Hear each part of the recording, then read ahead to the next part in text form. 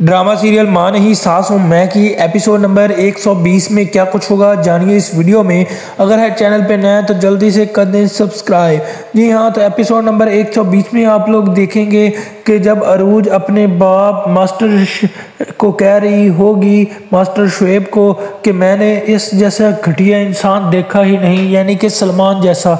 ये बहुत ही ज़्यादा घटिया लोग हैं, सलमान और अदरीस वगैरह। मुझे तो इस बात की नहीं समझ आ रही कि मैं इतने देर तक इनके दरमियान में रही कैसे? इन जैसे घटिया लोगों के दरमियान तो मुझे रहना ही नहीं चाहिए था, जिस पर उसका बाप कहता है कि तुम्हें क्या पता था कि ये ऐसे निकलेंगे कम ज़रफ लोग। उधर दूसरी जानब आप लोग देखेंगे कि सलमान अपने दोस्त के पास जाएगा और उससे झगड़ेगा और उसको कहेगा कि अरूज के पास इतना पैसा वकील को देने के लिए कहाँ से आ रहा है? ये सारा का पैसा पैसा तुम दे रहे हो और मैं तुम्हें छोड़ूँगा नहीं। जिस पर उसका दोस्त नासर बोलता है, सलमान खा, कि तुम घटिया इंसान हो, तुम्हारे पास अब कोई रिश्ता नहीं। एक दोस्त था, वो भी तुमने खो दिया।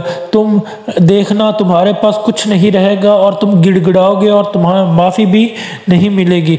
उधर जनाब जो शाइस्ता है, वो तो गरूर में अंधी हो चुकी है। उसे लगता है कि अब सब कुछ जो है, वो उसका हो जाएगा और वो खुशियाँ खुशियाँ मना रही है घर में, क्योंकि उसे अब लगता है कि अदालत उसके हक में फ़ैसला ज़रूर करेगी।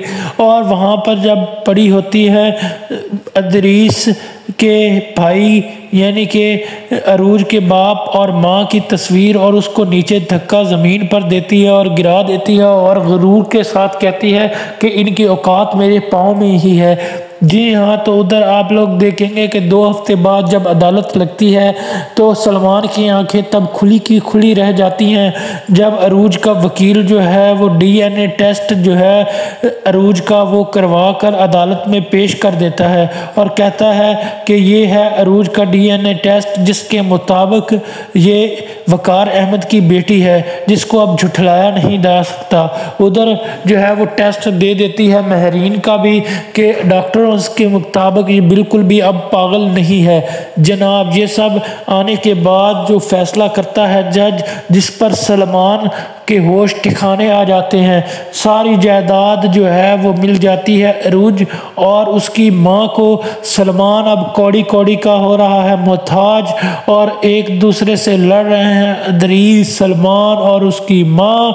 आपको क्या लगता है कि अब जब माफ़ी मांगने आएगा सलमान अरूज थे तो क्या अरूज दिल बड़ा करके माफ़ करेगी या नहीं? कमेंट में ज़रूर बताइएगा।